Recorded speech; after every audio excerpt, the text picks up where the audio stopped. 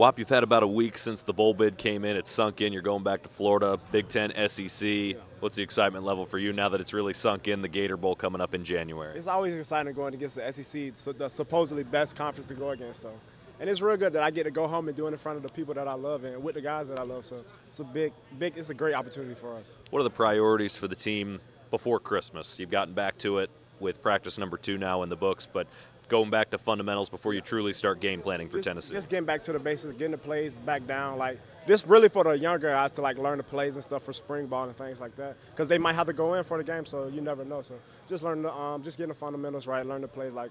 Regular the regular season's obviously been very strong with eight wins. What would nine wins mean to this season, to you, and, and just generally to this program? It would mean it actually would mean a lot to me and the program because I think it's like two teams that went nine, that won nine games here, so that would be a big thing for us, and it'll be a big thing for recruiting too. Also, so we'll bring some guys in to you know get us the tenth win next year. So it'll just, it's a big thing for us.